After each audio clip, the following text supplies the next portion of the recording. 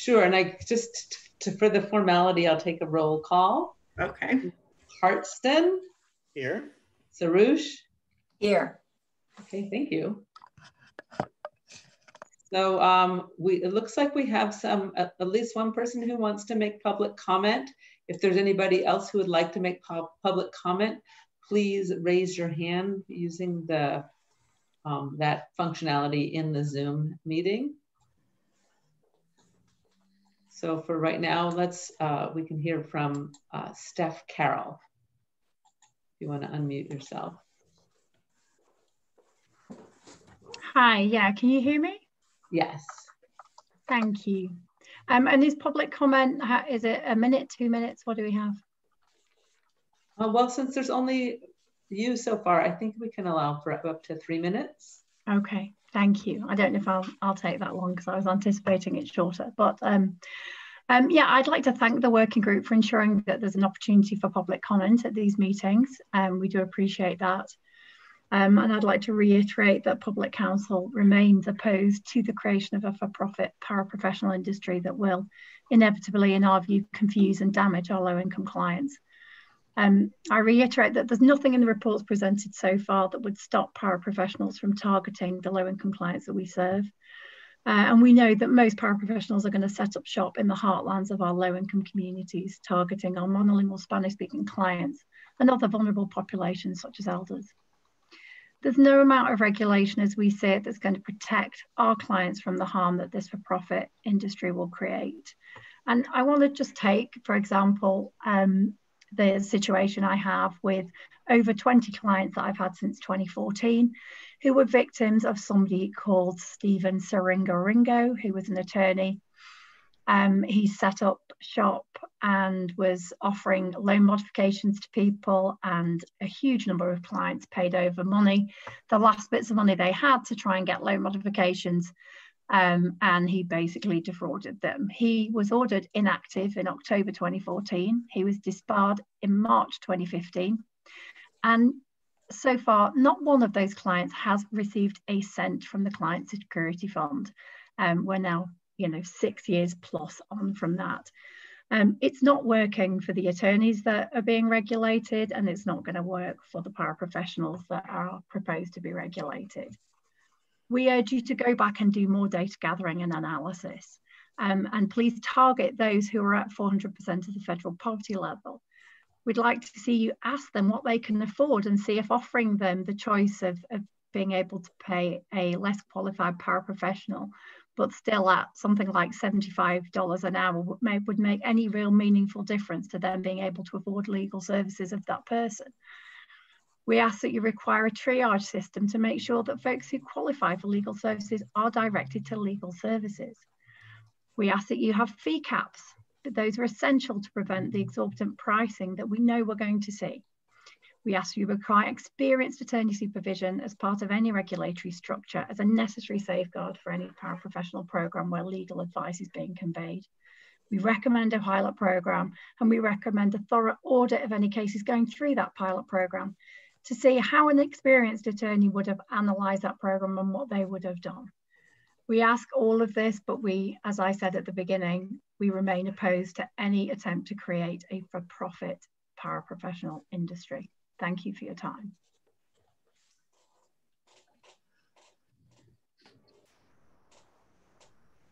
Anybody else, Linda?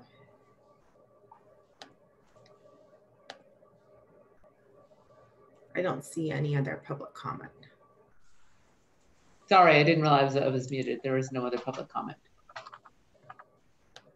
All right. Do you want to advance the slide, Linda? We just sure. thought we... Yeah. So once again, we just wanted to review what your subcommittee has determined is within your purview. This comes directly from the memo that was submitted to the working group on where it's October 29th meeting. Um, and I just have one more slide that shows for each of the topics that are included, the status of the recommendations. And as you can see that we've your working group has come up with a recommendation for continuing education requirements. But beyond that, there are a number of outstanding topics that still need to be addressed. So I think we want to uh, hear from you how you want to proceed with the next couple of, with this meeting and with the next couple of meetings that we have scheduled prior to the meeting end of the full working group in December. So I'm open to how you would like to proceed, but I think it would be helpful to finalize our recommendations on continuing education and financial responsibility based on comments and discussion at the last working group meeting. I think we're probably going to have a for financial responsibility. I think uh, two two recommendations, but I think we could finalize what that looks like. And I would like to go down and talk about mandatory disclosures um, and fee limitations and, and things like that, um, mm-hmm. informed consent as well. Um, I think it makes sense for us to, to jump into those, but I, I think we should finalize sort of where we are. What do you, what do you think? No, I agree. And um, I think that maybe perhaps um, on we start maybe with the continuing education because the both of us agree on that and um, I wanted to ask, what does it take to finalize that? I mean, this is what we discussed before the large group meeting. Then we discussed it at the large group meeting. Um, and I'm just wondering what's left to sort of finalize that today. Nothing. Um, you would bring it forward to the uh, working group for a vote. Okay. We didn't. We didn't do that last time. I don't know if there, I, I don't believe there's anything further that you intend to do here in terms of further specification. Mm-hmm. So if if that's correct, I think this would be ready to go to the working group. And I'm not sure if it would go in December. I mean, kind of think about maybe a package of items instead of piecemeal, but I think there was at least a request for us to consider that some of the CLE time be devoted to certain topics. I think Judge Yu had that. I have to go look at my notes that I think we said we would consider, but I think we're, I, I think both of us said that sounded like a good idea. So, right. She was talking about trauma informed training, which I 100% agree. Uh, because I think there is a consensus that most of these new uh, professionals will be doing family law, will be picking family law as a specialist. That's a really um, a, hot area and that's where you they will be dealing with um, victims of domestic or survivors. Um, they may be helping uh, apply for restraining orders or um, related work. And I, I totally 100% agree with her that there should be some requirement for trauma informed training. Having said that, we don't right now require that for attorneys, uh, but at least, for example, in our county, we, uh, the court offers trauma informed training, and it's a really hot topic area, and I think a lot of attorneys take it anyway. Um, so I, I would totally agree with that. Do you want to you want to specifically mention that as an area?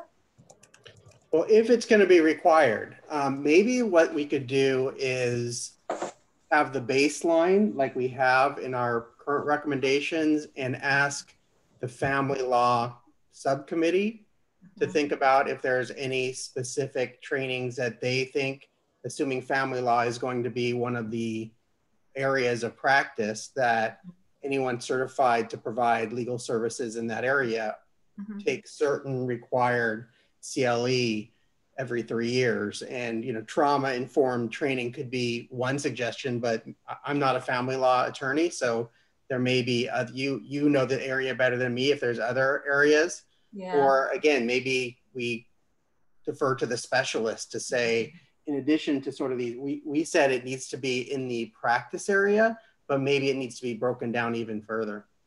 100% agree. And uh, I do, I do, um, uh, my specialty is family law. And I mean, right off the top of my head, I can see not only trauma informed and responsive training, but um, maybe child support calculations, you know, uh, and it could be other areas, but I want to leave that for the, for that, that discussion to the group but then I also wanted to ask what other areas of specialty has been discussed, guys, other than family law? Um, housing, unlawful Housing, detainers, and then a limited area of home ownership. which I Okay. can't recall right now. Um, Healthcare.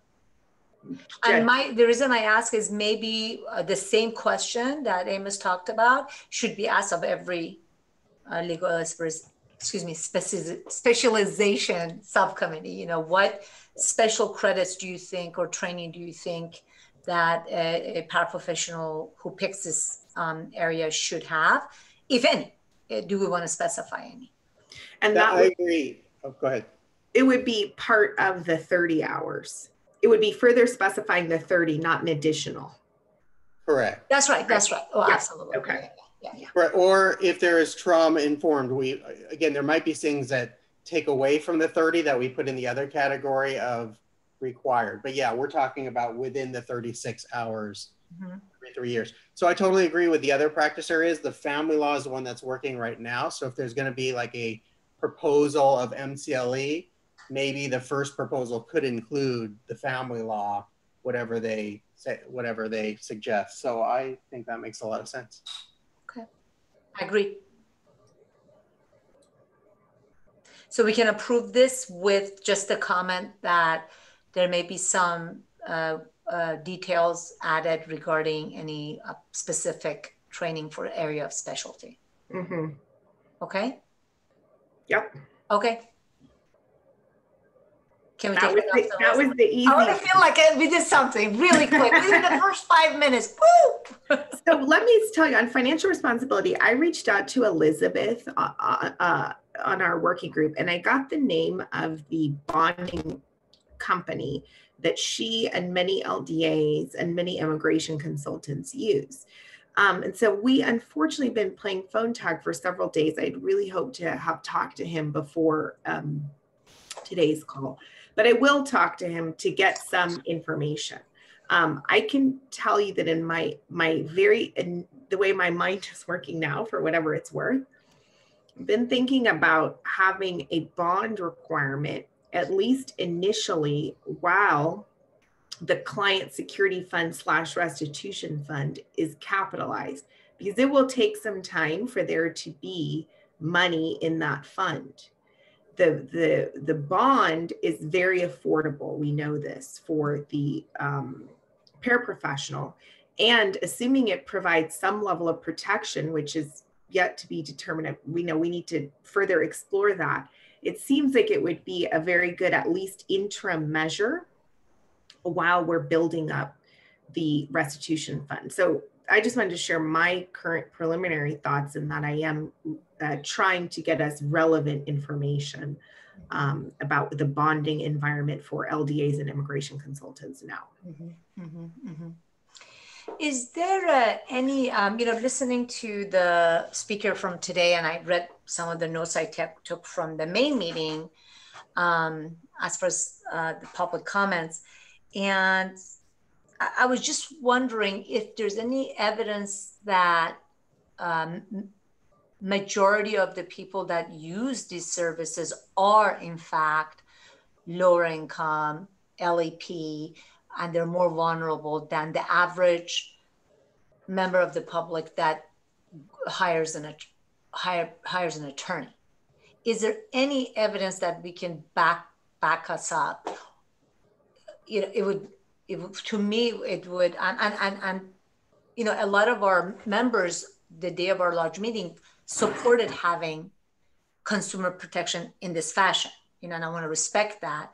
Um, I uh, you know, after the meeting, I kicked myself. I said, I wish I would have asked the one question, why do you think that? And maybe we would have gotten some information about some study or something. I don't remember that your study, the studies that we have so far covered, had any evidence like that. It's all anecdotal, right? Do you do you, evidence that people who take advantage of the current client security fund are low income or No, people, no, who would people use higher. a licensed paraprofessional? Yeah. Mhm. No, we don't have any evidence. I think there's an assumption that if you can afford it, you'll choose to have hire an attorney, which may be true, but I I do uh, push back on that myself because I've shared many times like I make a very good income and I would find an attorney for a serious problem out of reach for me financially. So, mm-hmm. you know, and I'm not low income. So I don't I don't know, but I think there is an assumption. So just to be clear from from my perspective, the requirements of financial responsibility, whether that's malpractice insurance, a bond, or some sort of fund, does not depend on how wealthy the consumer is. It is really for protection that the service provider, so the paraprofessional has assets in case they mess up. So in other words, uh, no matter what the wealth of the client is, if they're low income or if they have a, a significant assets, if they are harmed and they are victims, um, it doesn't help if you know the person is no longer available to get financial uh, resources from, if they're gone, if they don't have assets. So this is some financial responsibility, which is very common for many different licensed professionals in California. Uh, doesn't, you know, if you hire a, a you know, a, a painter or a plumber, it doesn't matter that whether or not the people who you know, use their services are low income or not. They're required to be bond licensed and bonded mm-hmm. in order to provide services in California. So I think it shouldn't depend on whether or not uh, this will be targeted at a certain demographic. The idea is for consumer protections, whoever the consumer is, this would provide some financial responsibility in the case of errors. Okay. and in my mind, again, I, I, I hate to repeat myself. I just wonder. So, is it that the if, if it's really for protection of the service provider, are we leaving it to them to choose an option or we're making it mandatory and saying you need protection, get it? Because we're, according to what you just said, this is not aimed to protect the average client. This is really to protect the service provider. No, no, sorry. So I'm not being clear. Yeah. So okay. so that might be a consideration in malpractice insurance of whether or not to require it. Um, but no, what I'm saying is it protects the consumer no matter who the consumer is. They don't have to be low income consumers. Uh, any consumer is protected by a license and bonding requirement so that they're not, it's just general consumer protection and very common for licensed professionals to have a licensure and bonding requirement. But not attorneys, right? Yes, but we're not talking about attorneys here. We're talking about. I know that. I know that, but we're, we're allowing these folks to do every almost close to everything that attorneys do, but for certain tasks, and then limiting it to certain areas of specialization. So I'm right. just again in my mind, I'm just trying to justify why we're treating them differently, and it could be we do a pilot, we'll see, or or that we do this and we recommend the same for attorneys. I think Leah, you mentioned that in one of our meetings. Um, you know, I, am still just um, not comfortable with that thought of why are we requiring more of these people? Well, it wasn't that expensive. Uh, you know, when I heard it was really, the number was really low. Um, but malpractice is going to be a bit, bit higher, yeah? Yeah, I think it's a closer call for me on malpractice insurance. So I agree. I think bonding is definitely something that I would like at least from my perspective, our recommendations to consider. We could discuss an amount, but oh, okay. um, for malpractice insurance, you know, as we've discussed, I don't know how expensive it would be. I don't know that it would be available. Um, I'm leaning towards recommending that it be required, but if it's not required, there needs to be some other type of you know restitution fund in my mind. So but I, I agree that's okay. that's a harder question. It's not required of attorneys. It's that is something that both protects clients and the professional. Mm-hmm. i'm practicing even as an attorney i wouldn't practice without malpractice insurance for my own uh yeah yeah, protection, yeah. but you know it's but i don't know. So but but for bonds i think it's not expensive. It's a common requirement for licensed professionals. I see no reason why we wouldn't right and I have to say, when I heard that, it wasn't much of a, it didn't sound like much of a hardship because they're really not that expensive for the amount of protection that they provide. So I would I would be more likely to agree to a bond. And um, I read um, this um, from state of Washington that the program is no longer in effect, but they required malpractice insurance, I think, 100, 300. Correct. Yeah, and they indicated that they would be, I think, interested in extending coverage to our paraprofessionals. Mm-hmm. And I believe they gave some rough dollar amount. But maybe, I don't know, Linda, we have another, I, I, I maybe don't have it teed up, but I think we have something else, maybe from the last meeting, that shows where Amos and FREBA are on the various aspects of financial responsibility. Maybe yeah. it's from the October 29th meeting. Because I think I my understanding is you're both in agreement on the restitution fund as it is uh, equivalent to our current client security fund, right? Because that is required of attorneys. There's a question about whether or not we would require prior um, final discipline the way that we do on the attorney side, right? And I think. Amos, you have a more expansive vision where the prior discipline would not necessarily be required and then where the fund would also reimburse malpractice type losses. So I think if we could go to like just understanding where the points of difference are, um, and then on bonding, attorneys aren't required to have it. It sounds like you're both leaning towards it. We need to get a little bit more information. Mm-hmm. And I would just again throw out there that we may also think about it as a at least um, an interim, something that you can get right away up and running when your client security fund has no money in it, because mm-hmm. initially it's not going to have very much money in it. Right, um, right, right. No, I would say um, after finding out more information about bonds, as I said, um, I think there the, the two types of professions are different enough and there's at least a, a, good chance that the clients may be more vulnerable um, than I think it's enough justification to require a bond. Um, uh, I would like to talk more about malpractice insurance. I think Amos maybe not as m- much as I thought for malpractice insurance as a mandatory requirement. I think we need to talk a little more about that.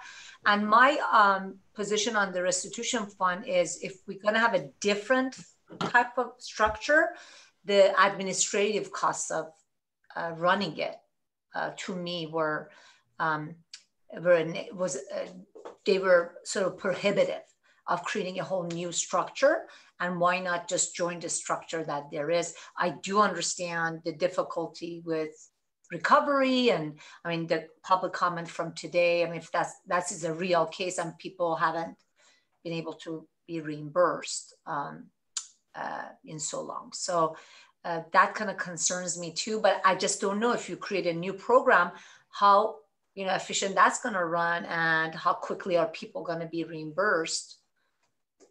And how much overhead we're going to have and you know a lot of the money is going to actually go towards managing it rather than reimbursing people. I, I don't know. Those are all the unknown factors. I, and i agree. So that's why i think where i ended up uh, maybe these notes will show something different but i think where i ended up last time when we were doing our report is I, i'm leaning towards mandatory recommending mandatory malpractice insurance, especially if the fund has so many concerns about how it's going to be funded and administrative costs, and if it doesn't eventually actually happen, that there would be some protection like malpractice insurance. I think a fund makes sense theoretically for me, but in practice, I don't know if it will be created and funded. And I would hate to you know, have a restitution fund that isn't properly funded. So it looks like on paper it provides protection, but it in fact doesn't. I think that's worse than you yeah. know having some alternative. So I think where I ended up because of all the concerns that were raised about administrative costs and issues with a potential restitution fund is maybe that means requiring malpractice insurance is, is a better alternative. I mean, I think we can propose all three of these issues in financial responsibility, a bond, malpractice insurance, and um, some sort of restitution fund. And I think the other area of agreement um, where we had before was if malpractice insurance isn't required, it should be recommended and we should take, take steps to encourage it. Um, but you know, maybe maybe if if we're not going to do a fund or we think the fund isn't really going to provide protection for whatever reason, maybe that's another reason to require malpractice insurance. And if we don't require malpractice insurance, I think it should be disclosed in the disclosures that this paraprofessional does not carry malpractice insurance. Even if we if you don't require it. That's right. That's mm-hmm. right. And then I was reading this um, letter from Kathy Pfeiffer Morgan.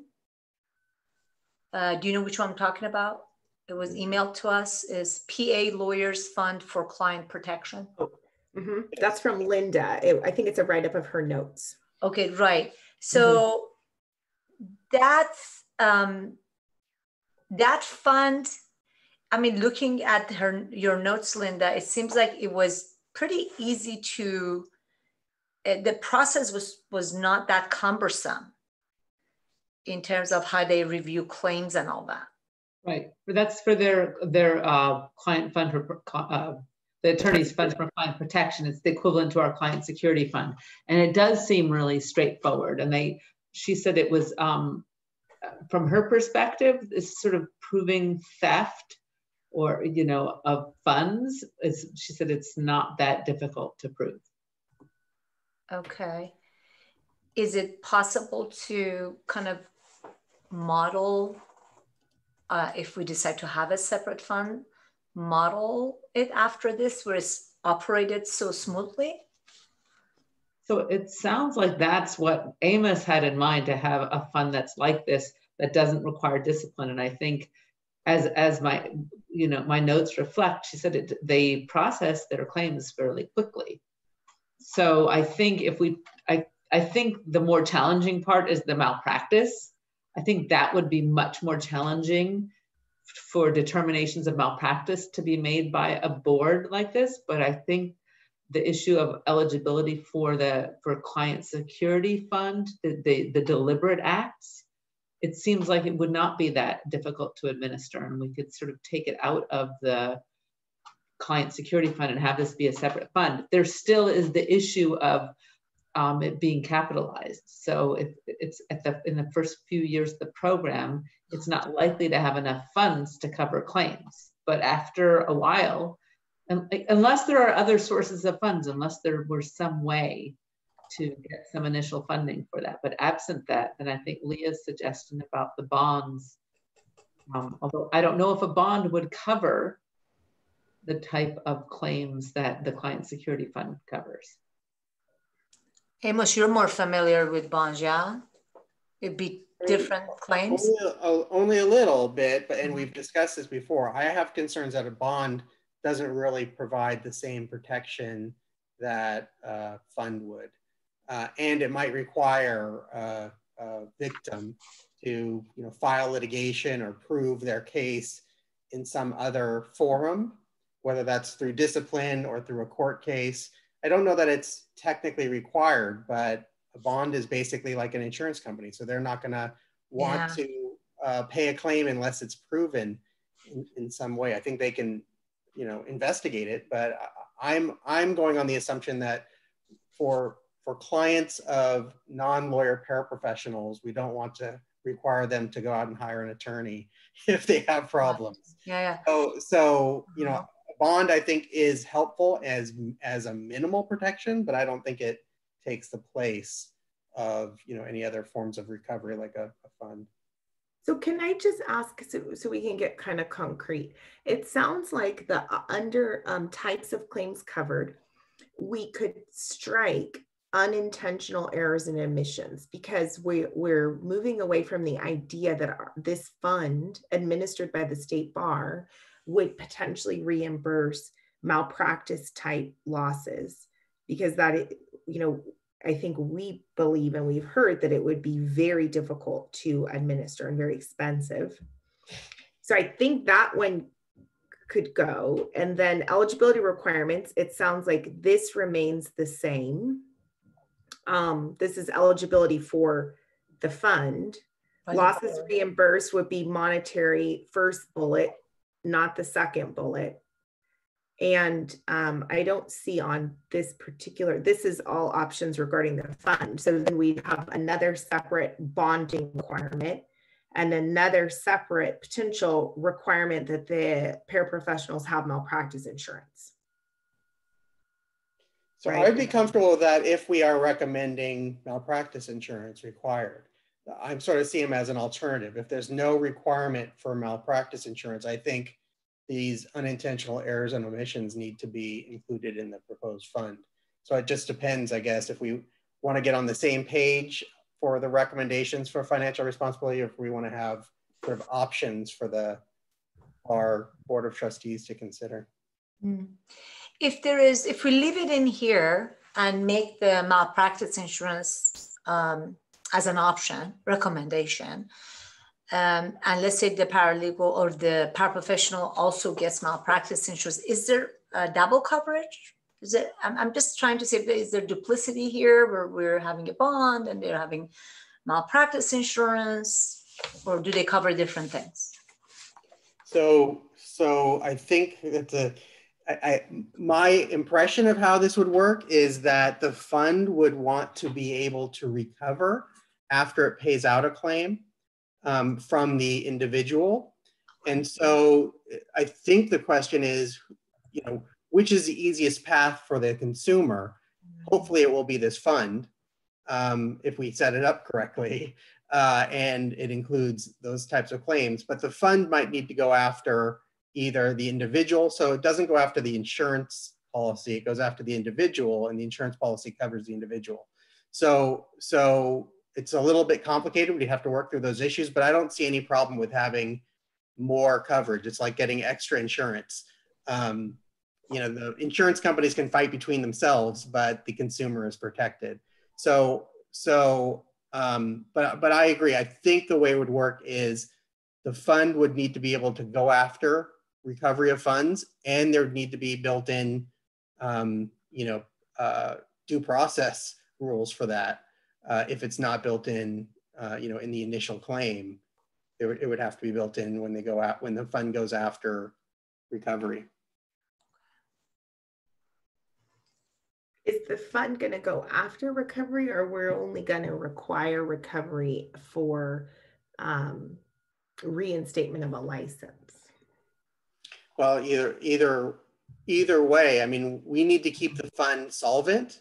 Mm -hmm. So so um, I, I don't know the answer to that. Certainly, it makes sense to limit the license being renewed or being able to continue to practice without re reimbursing the fund. But again, there probably needs to be some due process built into that before you take somebody's license away. Right.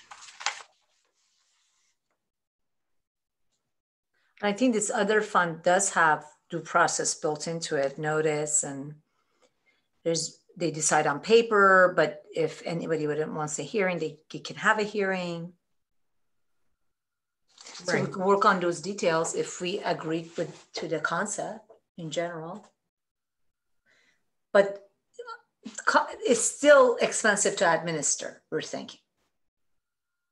Well, I, I personally would not recommend that we set it up as a whole separate separate thing. Like I think the funds could be disag could be discrete, discrete accounts, state okay. accounts, but the staff that do client security fund, those are the staff that should handle these matters. You okay. shouldn't think about hiring a new set of staff.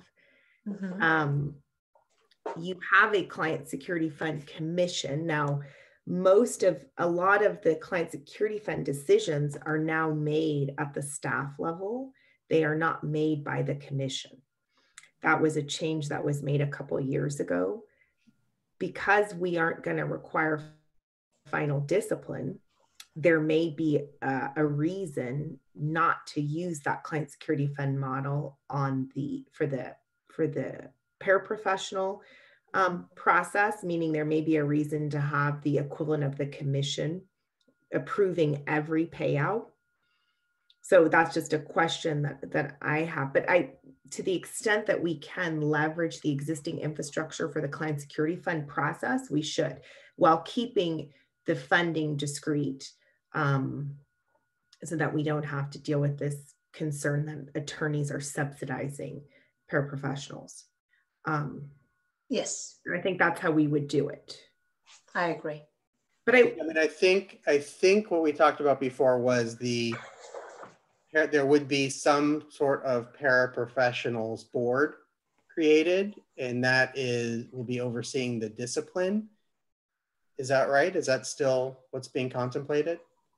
So I think it should be the same board that deals with claims to this fund. That's what I have in mind.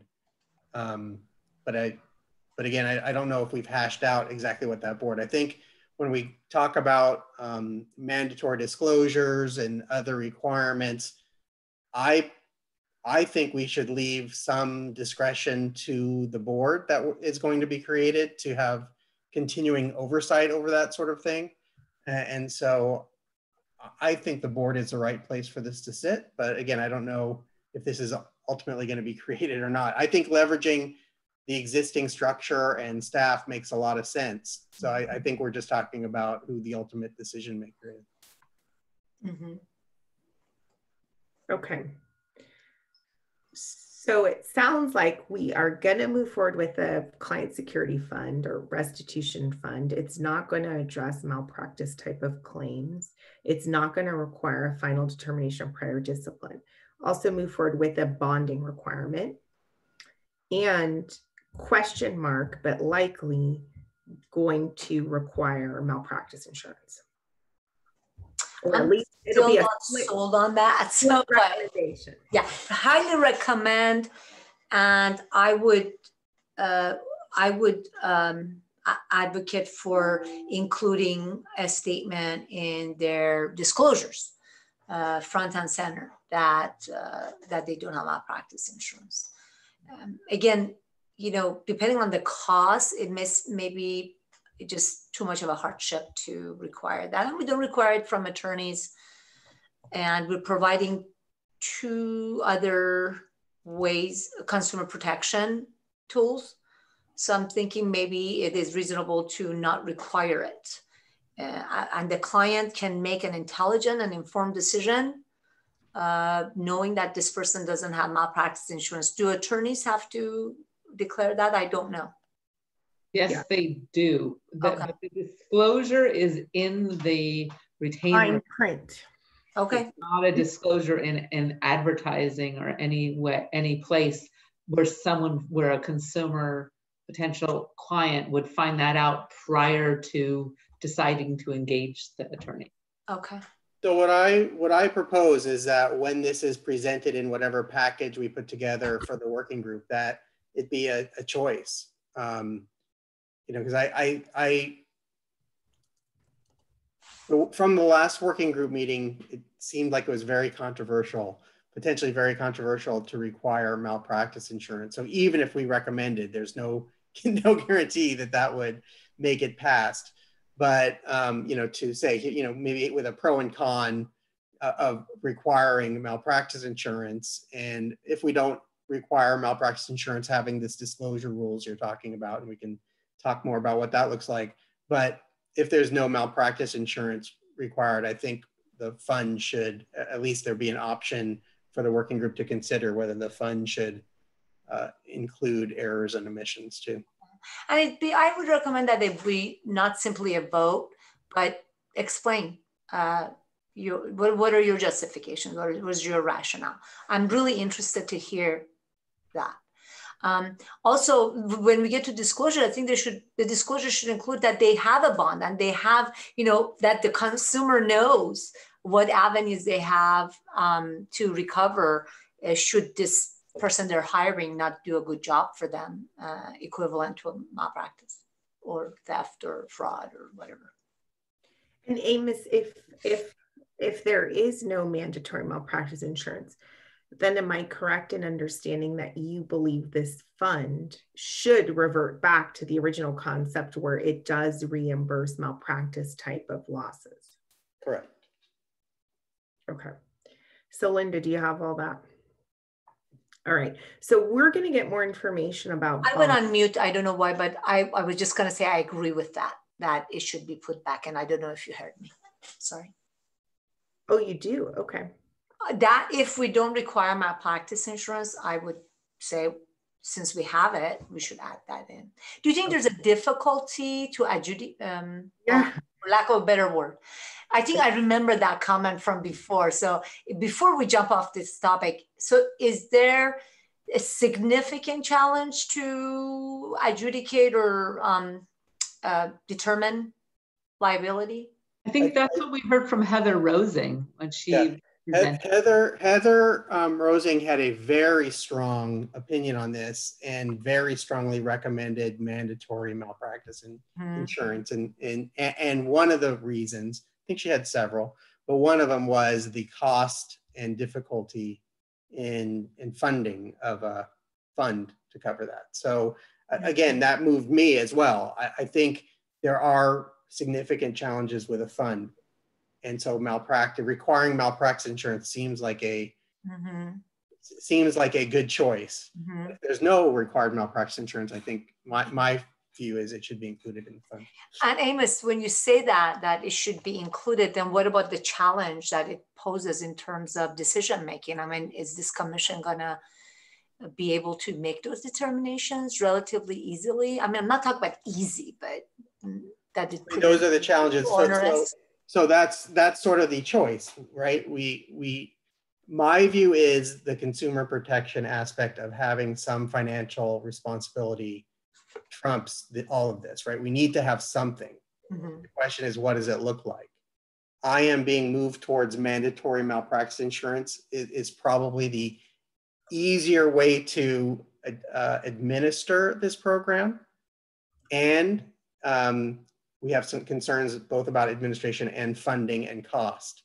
So none of those, I think, exist in mandatory malpractice insurance. You have it, you have to have it, and you have to prove you have it mhm. and you're done and then you you don't have to deal with all these other challenges there still would be a fund but it's more limited to the similar fund that there is for attorneys and you don't have these additional challenges so so that's where i am so sorry if that wasn't clear but i think um, you know it is costly to have mandatory malpractice insurance and it's not required of attorneys and so you might not agree and even if you do agree the working group or the board of Mhm. trustees might not agree. And so I just want to sort of set it up with alternatives. Right. And if it's not, if unintentional error is not included in here, we don't uh, vote on having mandatory malpractice coverage, then if a client hires a paraprofessional knowing that they don't have malpractice insurance, and that's the type of situation we have, if the person doesn't have malpractice insurance, what's the, what avenues are left for that client? They're out of luck uh, in probably most or all cases. The bond may provide some protection, but I don't think it would provide the same type of protect. We're going to learn more about that. So I think we're still proposing a bond. But my understanding is the bond wouldn't provide the same uh, protections and recovery as a fund or malpractice insurance would. But they so so most clients would would most victims, so just the ones where there is you know there is something wrong, very unlikely that they will recover anything. No, it's, it's like a lawsuit. They file a small claims case, depending on the amount or something like that, right? That's, that they would go forward on their own, litigated on their own, right? Right, but that's not the issue. They could do that anyway. The issue is even if they got a judgment, there would likely be no recovery. No way to recover, right, right, right, right, right. And free, but that's how it is, right? For attorneys Right, who don't have Right. contracts. right. I think, you know, there's like these really interesting policy issues. One, I totally agree with you, Fariba, when you keep pushing this point of like, why are we having different rules for this group of licensees than for attorneys? That's one policy question. Then the other is, should malpractice insurance actually be required for attorneys? And so if you have the opportunity to kind of create a new program, and you, then you have the opportunity to do it right. So they're both like, you know, You know, why not go all the way, bonds and all that too? So my, my thing is that if a group votes to have malpractice insurance mandatory, then I think the recommendation should be that if everybody agrees that this should be pushed for attorneys too. I mean, consumer protection is consumer protection, you know, they should be protected from bad attorneys too. I think we're done with this part, right? I think so. Okay. All right. Where do you guys put the other slide back up? Yeah. Tell us where you want to go next. Okay. It's going to take me a moment to find it.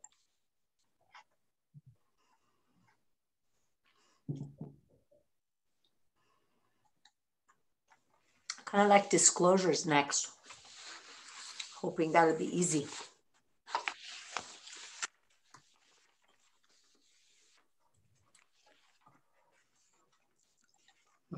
Okay. Amos, do you want to discuss disclosures next? Sure, that sounds good. I really like the disclosures in the Washington program. I agree. I think they did a pretty good job. I mean, I think for disclosures, some of these need to be clear and conspicuous disclosures, and they had some language in Washington. I think we could probably do a little bit of a better job on some of that, but at least for the topics, uh, and maybe I'd reorder it, but at least for generally the idea of disclosures, first of all, a requirement that there be a written agreement signed by both the client and the paraprofessional, and you know, um, you know that they're not an attorney, and some, some, you know, what the services are. So I do think that's a good, very good starting place. And I don't know if everyone on the call has this, but what uh, Fariba is referring to is APR 28 in the state of Washington. Mm -hmm. um, and that in particular, APR 28. Um, Do you want me to put that on the screen? That would be great if we're going to start there, but I think it's G. It is G. Uh,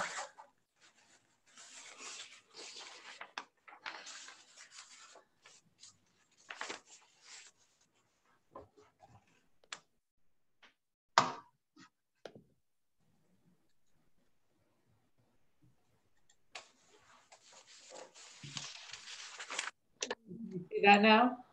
It's G2. But G1 is great. I love that um, this specific rule that the uh, legal technicians shall personally perform the authorized service as not delegate to a non-licensed person, except for translation. So this is what we're talking about, these. Um, yeah, right there, starting with A. So this is for the written agreement, and I think we should start with that. There may be other, you know, ways of delivering mandatory disclosures, whether that's in advertising or on a website, or some licensees require, you know, posting on the wall certain information. But so so we can talk about other ways of delivering uh, you know, mandatory disclosures, but I very much like the, the what Washington State did with their written agreements. Mm-hmm. Agreed.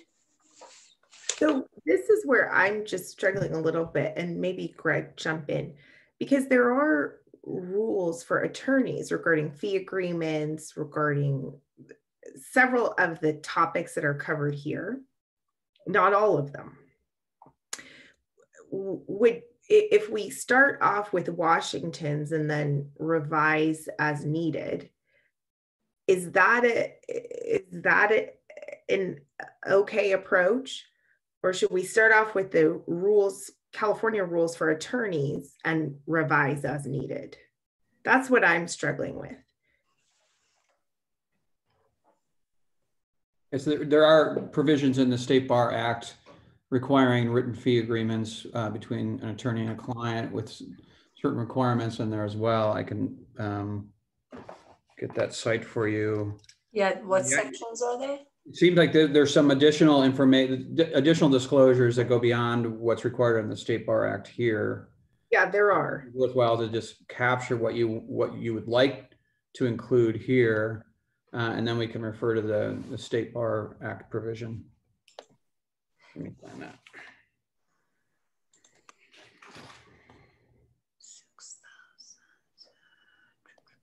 Yeah, 61, 47, 61, 48. 6147. It's business and professions code, yeah. Yeah. 47, 48. Let's do contracts.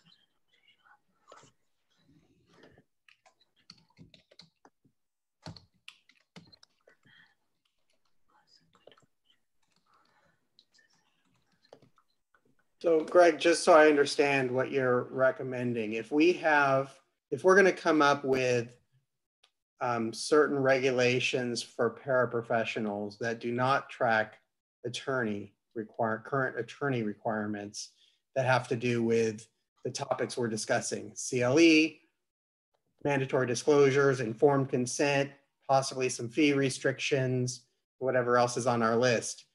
Um, does it make sense to have a rule specifically for non non-attorney paraprofessionals where we can cite to and refer to the attorney rules, or do you have a different recommendation? Well, I, I think that we, I think we need to decide. Uh, what I would suggest that you do is decide what you what types of topics need to be disclosed, whether they need to be in separate writing. So, for instance, we were talking earlier about uh, somebody that does not have uh, malpractice insurance.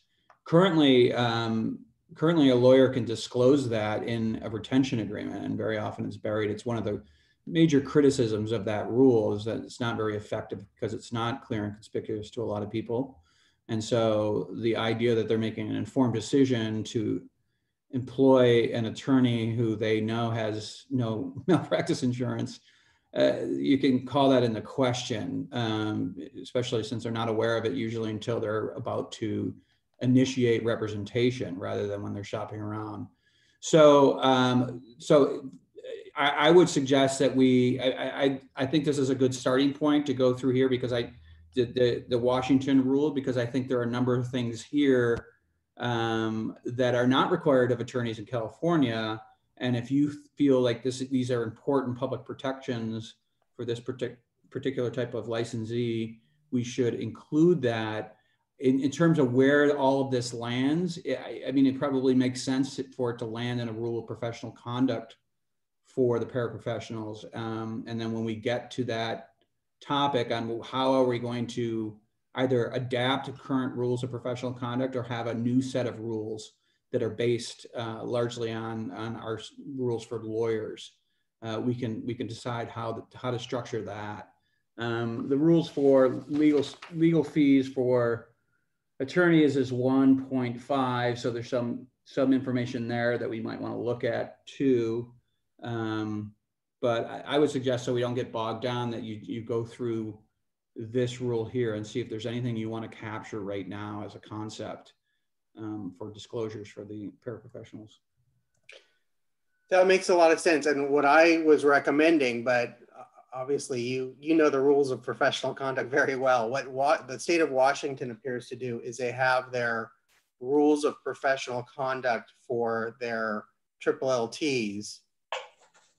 I assume they created that off of the what they have for attorneys. I haven't gone through and carefully examined it, but they have separate rules of professional responsibility or rules of professional conduct for their triple LTs. And then they have this APR 28, which goes through not only these types of regulations specifically for paraprofessionals, but also it's where they house, you know, what what topics, right? Is it family law? Is it what things can be done in appendix there? So we're going to have to house all of that somewhere. And it seems like we're going to have to house that separately from the rules of professional conduct, at least some of it, in terms of, you know, what's the board, who's a member, what are the requirements of education and licensure. So I'm not sure conceptually where that all goes, but it seems like that might be another place for some of these rules, which are not just discipline, but, you know, defining the program.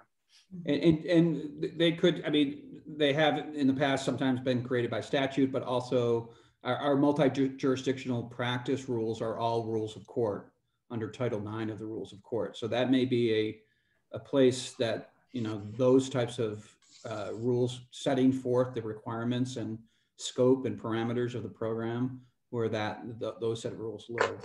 Mm -hmm. I see that um, the uh, section 60, um, starting with 6146, um, the title is fee agreements. So, and a lot of these sections tend to cover, you know, fees, contingency fees, and so on and so forth. Mm-hmm. Where the Washington rules, the disclosures here really are most of them are kind of trying to cover the differences between what this person can do versus an attorney can do. Mm-hmm. And I also haven't looked at their rules regarding attorneys, so I don't know what they do, what they have in their rules for attorneys. But um, I think that's why there needs to be this different set of rules for that just applies to paraprofessionals and addresses disclosures about what they cannot do. Um, and and if we're not requiring malpractice insurance, then that they don't have malpractice insurance. And remind me again, I'm so sorry I forgot. Are we requiring attorneys to declare that they don't have insurance? Yes. Yes. Okay. Okay. So that would be the same, you know, if we go that route. But right. I do think there is a purpose for having a separate section. Maybe we'll just sort of put it in the same section in the business of profession codes, but it only applies to paraprofessionals. Right. The the difficulty with that is only the legislature can change the oh, business oh, and professions yeah, code. So yeah. I forgot that little part. it's a possible way to do it, but it, it might be easier if the Supreme Court. I, I don't exactly know the procedure for changing the rules of court, but I assume it's a Supreme Court decision instead of a, a legislative decision. So do you want to take the Title time? Nine, the Title Nine rules are pretty, it's a lot of flexibility for the court in terms of the process. They're not the, the same as uh, Title 10 rules, which require a process through the, through the Judicial Council. But isn't it uh, normally people can recommend rules, the state bar can recommend rules of court uh, governing the admission and uh, to the practice of law under Title IX. Um, so there's a lot more flexibility there. And one, one thing I, will just mention, so the, the rule for disclosing uh, the absence of malpractice insurance is 1.4.2.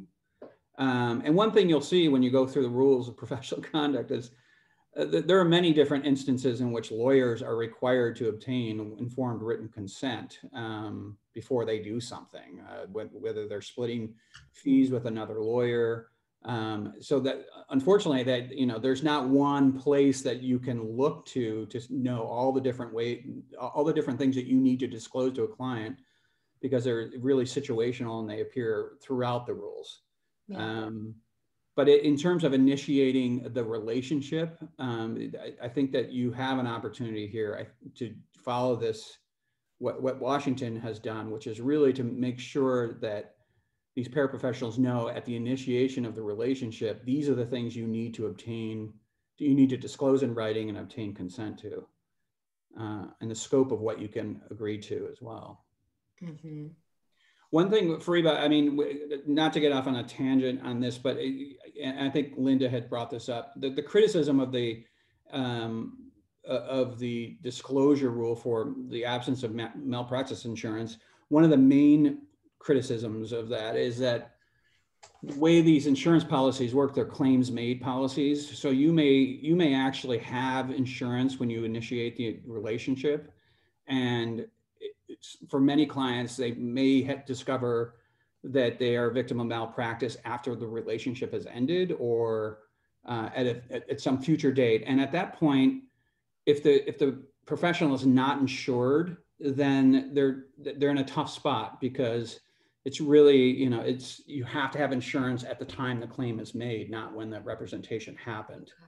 Okay. okay. Do you all want to go through item by item and say which one you want to keep uh, or modify? And then I think we could do the, as staff, just cross reference to our existing rules. Sure. They're not that many. Yeah, let's do that. Mm-hmm.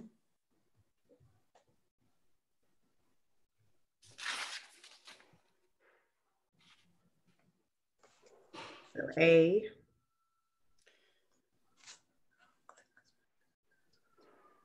I think it's a yes.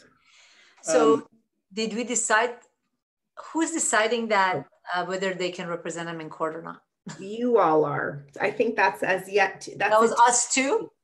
No, not you. The working group. The working group. Oh, the entire. Oh, we haven't made a decision on that. Yeah. Yeah, I mean, my my suggestion is we go through this just like we're about to, and in, and and lean on the include it, and we kick it back to the working groups that are working, the subcommittees that are working on particular areas, and if they're going to recommend something different, you know, obviously we got to change that. But I think the idea is the Washington state rules appear to have a pretty good, clear um, regulation of things that need to be disclosed that I think we should track unless there's some reason to divert. Again, there's some places where I might want to add uh, or change the order or things like that, but um, I don't think we should worry yet that the you know which comes first, the chicken or the egg, because we keep getting into that problem with the regulations versus the topics. And I think we should move forward with this subject to it being revised if the other committees decide, oh, actually in this, in family law, we want the, the paraprofessionals to do X, Y, or Z. We could always modify this. The only thing I would say is the group did already vote on collateral criminal, and there there was a um, recommendation approved by the working group that would authorize in court representation.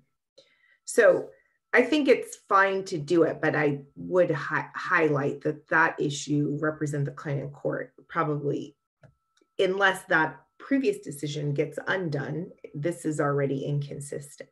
Okay. So, well, so the other way is I, what they cannot do. I mean, A pretty much is an explanation of services on what they cannot do, right, Amos? I mean, that's what I'm reading. Yeah. So I think the way the Washington state rules work is separate. This G two is their written agreement and disclosures, and they have a separate um, under uh, under H, the next section, which is prohibited acts um, that list um, things that they're not allowed to do. So this again is just disclosures, which of course might might track other prohibitions. Uh -huh. um, so my recommendation for A, 2A, is that we separate it out. So um, I, don't know if we're wordsmithing here because I'm happy to do this separately if we're, we're doing it, but I think an explanation of the services to be performed should be its own requirement, maybe even a clear explanation of the services to be performed. And the including part here, I think, again, I think this is going to be a clear and conspicuous statement that they're that they're and um, so this is sort of a mandatory disclosure, right? That we're going to be, required, you know, and we'll we'll want it. So I just want to make it as clear as possible, and that's different than the services. I, I see there's two separate concepts in A. An explanation of the services to be performed, I think, is great, and then separately a clear and conspicuous disclosure or statement of what they, you know, may not do, right? Mm-hmm. Right, I agree. Okay. And I think we can leave it at that for now. Yeah. Right. So that's A. Yes. B. So is that closely tracking what attorneys have to do? Basically, identification of all fees and costs to be charged to the client for their services to be performed?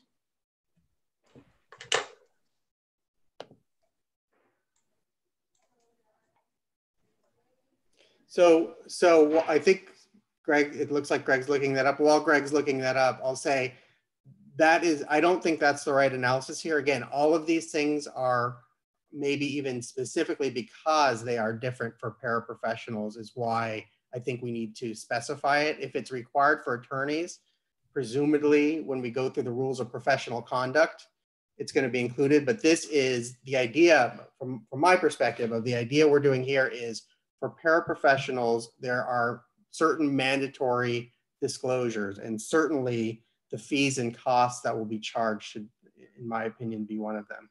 So, so Um, and that's why I say I think we should go through these and, and, exclude them only if there's some real reason, like it doesn't apply at all in California, or there's a separate rule that already requires it.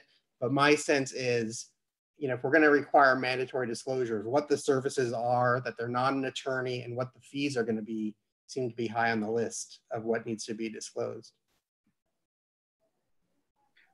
Is the parallel rule, Greg, rule 1.5? 1.5, and just to, just to clarify, so the, the, the fee the fee agreements that have to be in writing really are contingency fee agreements.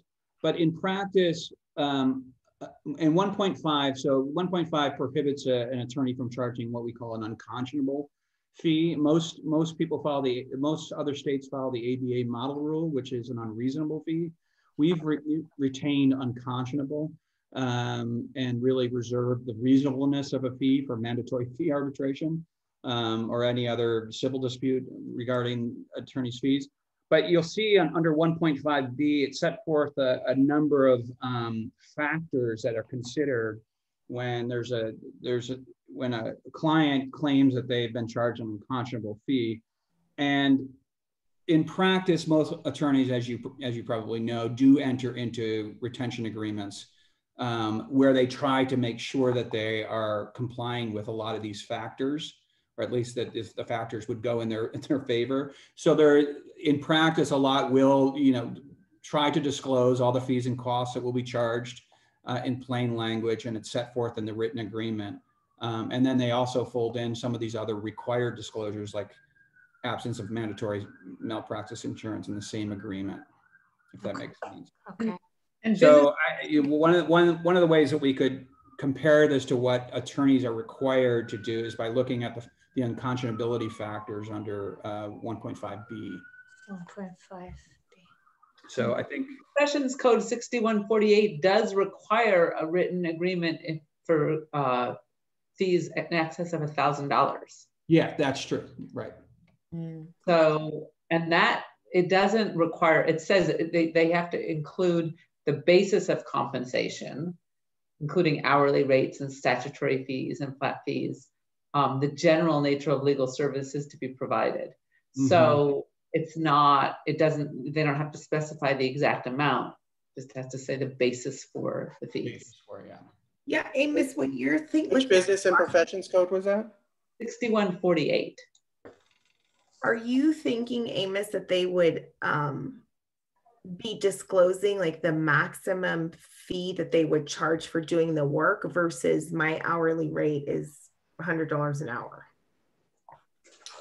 So we haven't talked about fee limitations, but I'm assuming that it will be allowed to have different fee structures, an hourly fee or a flat fee or or some some other thing. So they just have to disclose what the fee is going to be. If it's an hourly fee, they have to disclose what that is. Mm-hmm. A flat fee, they have to disclose what that is. Um, I'm just again, I think we do need to separately talk about fee restrictions and limitations, but for this purpose, I think it's a disclosure issue. Mm-hmm. But when you say the fee and what that's going to be, you mean the hourly rate, not the total amount. Unless it's a flat fee arrangement. Yes. Okay. Mm-hmm. Is this, um, uh, I, I, think I'm understanding what Amos keeps saying um, in that, are we talking about, are we talking about a fee agreement and disclosure all put together as this written document? Yeah, so this is a, retail, so the way this is structured right now in Washington state, uh-huh. their retainer agreement includes the disclosures. Okay. So this is what we're talking about is a, a, a written agreement that includes disclosures again, I think we might need to talk about disclosures in other ways too, in advertising and on a website and yes. maybe post it on a wall. But at minimum, the written agreement, the mm-hmm. retainer agreement should. I, I, like Washington's model of having, you know, sort of, you know, what's what are the services, what are the fees, and a disclosure. They're not an attorney and, and these other things. I I think this is basic. We might want to add to it, but I I'd be hesitant to to not require them to disclose what their fees are. Mm-hmm. And today you want to just discuss it as like bullet points without going into too much detail? Sure. Or, or should we, you know, cite everyone and then discuss some detail and then before moving on to the next bullet point? Well, yeah, I think I think what we're doing is running through them to see if we have sort of an agreement, and then it sounds like um, there's going to be some cross-referencing of what's already included in the rules for attorneys that we may want to like for this one for identification of all fees and costs to be charged i like that i like that language it's simple and clear to me if there's some cross-reference or if we want to also include some of the you know unconscionability factors or if we want to do something more or i think that's fine too we could have a mm-hmm. placeholder for it but my point is i like this disclosure i think it definitely something i'd be interested in including greg just a point of clarification um, the unconscionability factors are not required to be listed in an attorney fee agreement either. You're just saying that's the standard, right? It just becomes a checklist along with, with the requirements of 6148, a checklist for what you really should include in, in your retention agreement. Okay,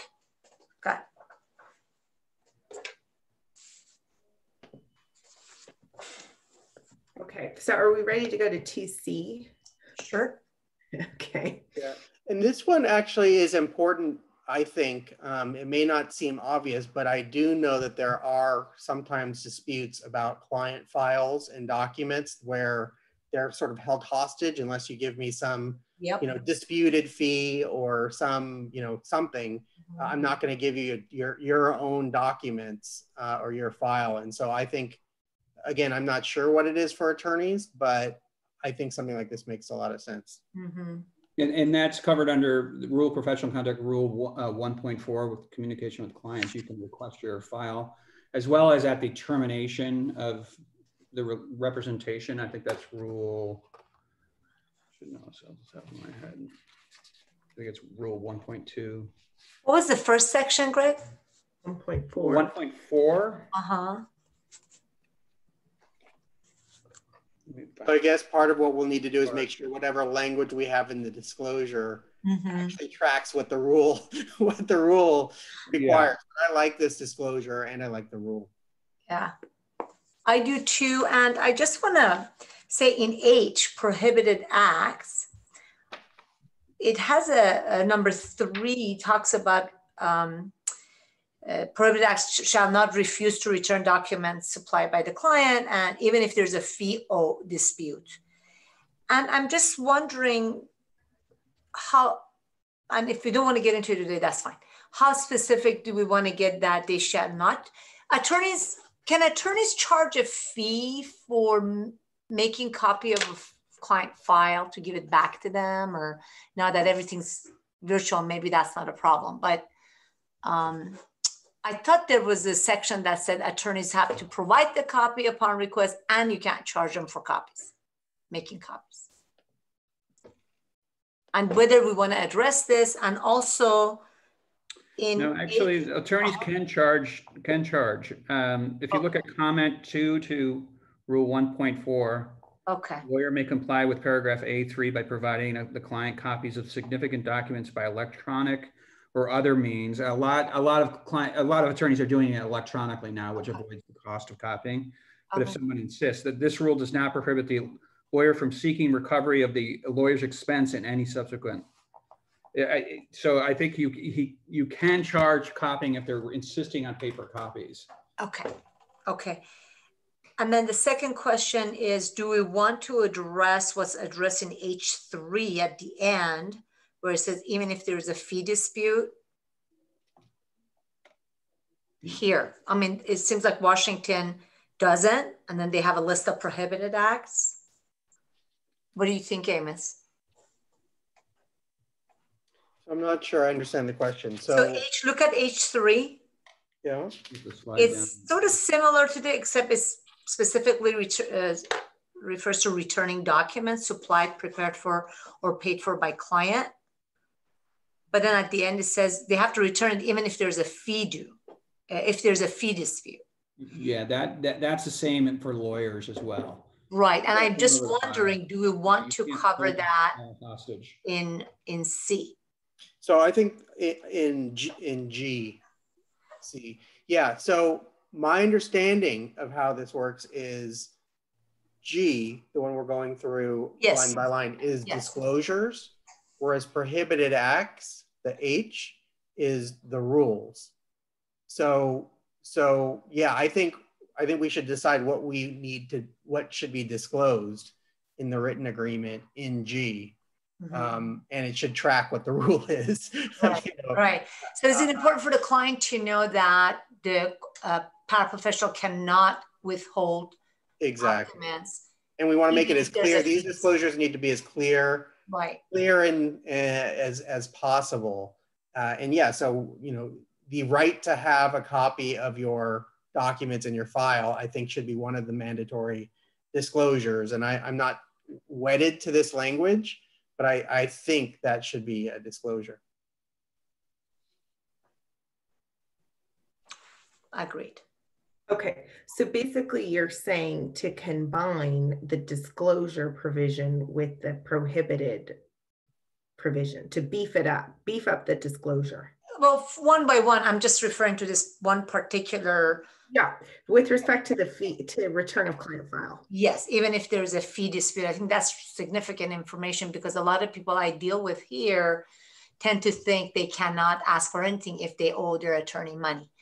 Um, and I think that's really important to know, no, you, you have a right to get your documents back.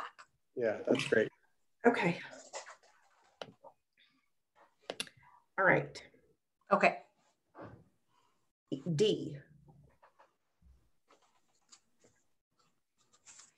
So this is one that I, I think we should change the order. I think this should be right up top, that they're not an attorney. And again, a Yes. clear and conspicuous disclosure. So again, I like the idea, but I, I would just change the order. I, I- and I think we could probably work on what does clear and conspicuous mean? I don't know if the attorney rules have anything like that, but again, there's other clear and conspicuous disclosure requirements under California law that we could create our own if we need to. Uh, but this is obviously very important. I agree. And I think this does say this statement shall be on the first page of the contract, uh, but I don't know if why they have it as D instead of A. Right, right, exactly. It should be up front. And, and they do have some language about minimum font, but at least in my experience, clear and conspicuous is, It's interesting. It says minimum 12 print, bold type print. Like, yeah, again, so we can, I think we can come up with our own, either, again, if there's something existing in California law we want to track, but I think there's probably more specific, more specific details of, of how and where the disclosure needs to be made. Okay, that was Okay. easy. The duty of confidentiality. Are you all going to be recommending that there is um, confidentiality between the paraprofessional and the, I, yeah, I think we should track. Yeah. So confidentiality and privilege, I think, might require a statutory change. I don't know if we can do that in rules. Again, this is interesting. I, I think I would like there to be confidentiality and privilege, but I don't know if we can create that as a, uh, you know, as a regulation unless it's created somewhere. At, at least my understanding of the privilege for attorneys is a evidence code. Evidence code, right? The, the privilege is, the duty of confidentiality appears in 6068E, Yeah. uh, E1. And, you know, it- it's, it's, California is unique in this way in that it- this, the legislature created the duty of confidentiality before the court did. I mean, it was recognized in common law, but so historically, the Supreme Court um, has been loath to get ahead of the legislature in terms of carving out exceptions or expanding the scope of the duty, um, even though, you know, arguably the court would have the authority to do that and pose that duty on lawyers as the, you know, plenary authority over the over the practice of law in the state. But the court has um, really wanted the, to follow the legislature on that. So the, one of the exceptions uh, under 6068E2 um, in cases of potential death or bodily harm for, for breaching the duty of confidentiality, the court in, denied, I think, four different requests to amend one, what is now 1.6 because we have both a rule of du- a rule that sets forth the duty of confidentiality in California and a provision of the State Bar Act. Yeah. Um, and the reason the court continued to deny that request was because the legislature hadn't made the change yet. And as soon as the legislature made the change, then we approved the change in the rule. So that that's just a little bit of background, just in terms of the historical development of the duty of confidentiality. Mm-hmm. There, I mean, in concept, the court could create a duty of confidentiality imposed on uh, paraprofessionals through rulemaking. Um, but I'm not sure that you know the historical development of the of that duty um, would follow that pattern. Right. And what about privilege though? Because um, that's different, right? That's if they're subpoenaed or if they're you know asked to testify that they don't have to, and that's different than a professional responsibility of confidentiality. That's right. Right. So uh, yeah, I think that we may have to kind of work on privilege, but rules of professional conduct for attorneys 1.6 you said covers duty of confidentiality mm-hmm. and and then so could there be and forgive me if this is this sounds ignorant but could there be something in the rules of court um, that um, kind of says that the confidentiality rules that apply to attorneys will apply to um, paraprofessionals? Is that well, possible? You, probably do that through the duty through the rules of professional conduct for the paraprofessional. Okay, and yeah. then just work on changing legislation as the program is developed and changing in privilege. You know, evidence goes for privilege and things like that. Because I think privilege is. I don't think we. Do you think you could do that? In it only has to be done in evidence code, right? I mean, you can't. You don't have a rule of court for privilege, do you? I mean, is there?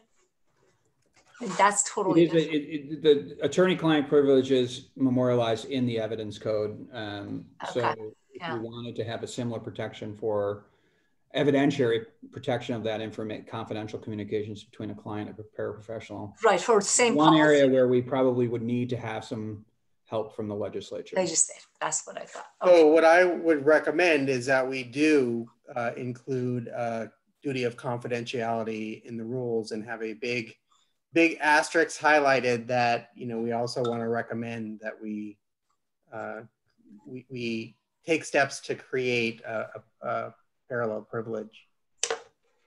No, I agree. Uh, same policy reasons, you know. And including yeah, all sorts of conflict. Work product protection as well. Right.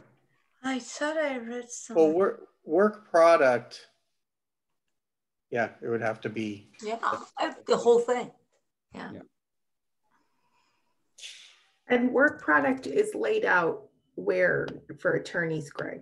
It's in the evidence code here. I'll find that section.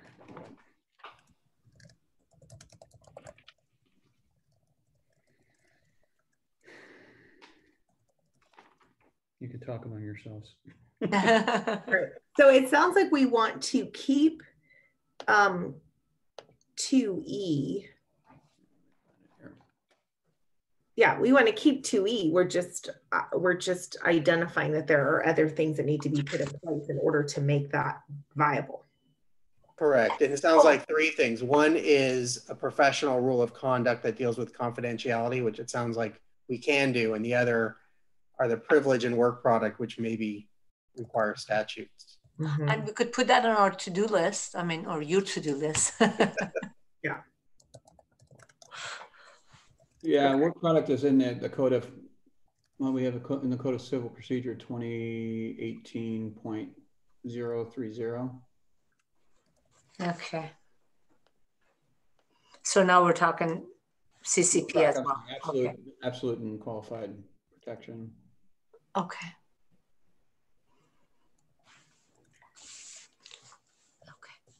Okay. Move on to Six. Can we get through one more? Yes. F. Unearned fees. Oh, were you? Are you skipping over F? No, I'm in F. oh no, you're F. Sorry, sorry, sorry. Yeah. so I like this as well. Um, again, this is a disclosure. So the idea is, um, well, we got we. I, I think we need to also talk about retainers and if that's going to be allowed and if we're going to track the rules and how we're going to deal with fee limitations. But mm-hmm. certainly the idea that, you know, can't keep unearned fees is pretty pretty clear and straightforward to me. So I, I would like to include it, but I, I also think we might want to seriously consider not allowing uh, at least significant retainers. So that that is covered under Rule 1.5D and E in, in, terms of flat fees as well. So a true retainer, you can they can only designate a fee as earned upon receipt or non-refundable if it's true retainer, mm-hmm. meaning you're paying for the for the availability of the professional. Not uh, it's not the same as a deposit or advance fee, um, which a lot of lawyers still call retainers, but mm-hmm. um, it's re- truly should be designated as an advance fee and they're required to return any unearned fees uh, at the termination of the representation. Right. So, the, in other words, even if we track the attorney rules, this disclosure would be appropriate because any, to the extent there's any unearned fees, they need to be returned. Yes. Mm-hmm. Um, I agreed. The question that arose for me is this language right to rescind the contract. Are we talking about firing the paraprofessional? This is what we're talking about, right?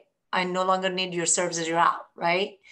Um, and so this kind of reminded me of um, attorney withdrawal of the case uh, from the case. I was just kind of thinking about that. I don't want to get us too far off from our discussion, but it just so are we talking about notice to withdraw or you know motion to withdraw or substitution of paraprofessional? You know, what are we? are we going to talk about that? Is that what the Washington people are referring to when they say right to rescind? So there could be a unilateral decision to relieve the paralegal, paraprofessional where we don't have that right in in the CCP for for clients of attorneys. There has to be a agreement or there has to be a motion, a court order. So I think the, the difference is who's asking for the attorney to be relieved. If it's the client, the client can always fire their. I thought so. You know, I mm-hmm. read legislation as part of my work, and I was trying to kind of decipher that as CCP 285.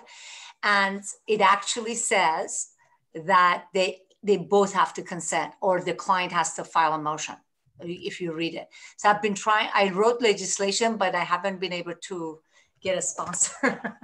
so I was, I agree with you. I think the client, which judge is going to say to a client, no, you cannot fire your attorney, yet the code requires a court order.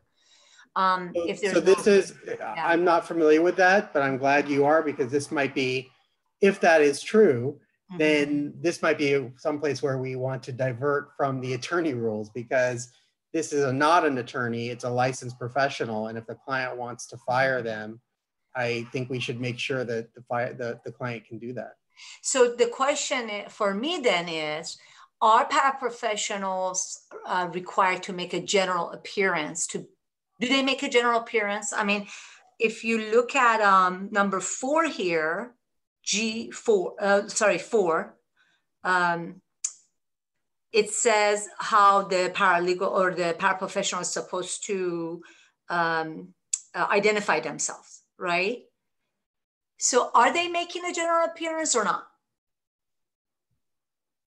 Then if they make a general appearance, do the same rules apply to the opposing counsel? That is, they can only talk to the paraprofessional and not to the client. Ha have we thought about this before? Or is some other group addressing it? I think that's us. That's you. That's one of the rules. And it's 502. Ah! So, uh, um, what would be helpful for us to do between now and the next meeting? Because the, the way we're doing this is very thoughtful, but it's going to take a long time. Mm. so, is there anything we can do that will help? Um, I like the way we've been doing this today, one by one. It's been very helpful with Greg providing the codes and all that and sections. I think it's just going to take time. I think I think it's the nature of it. But hey, I'm I'm open to all kinds of suggestions. I'm also, I, I, mean, it looks like, I really like that we started with the Washington state rule and, and that we have, I think, agreed that all of it or most of it with some minor, you know, tweaking makes sense. Um, so it might be possible for us to go through this offline or, or, or redline it or, or, or maybe uh, look to see if there's anything that we want to have more discussion of, but quickly go through them next time um, and, and, you know just highlight the ones that we need to spend some time really thinking about because I, I do think uh, at least as a baseline the Washington state ones are proving to be pretty helpful. Okay. I agree. Great. Thank you.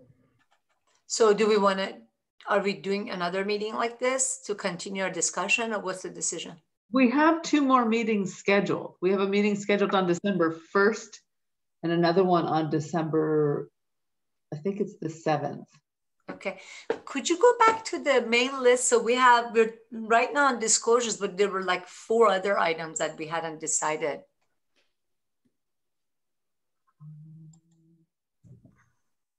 And I think for next time, if you have them more information on the bond, it might be helpful for us to finalize what our recommendations are on that, including the amount. But um, you know, hopefully that won't take too much of our time. Okay. Yeah, I think we have a good agreement on that. Okay.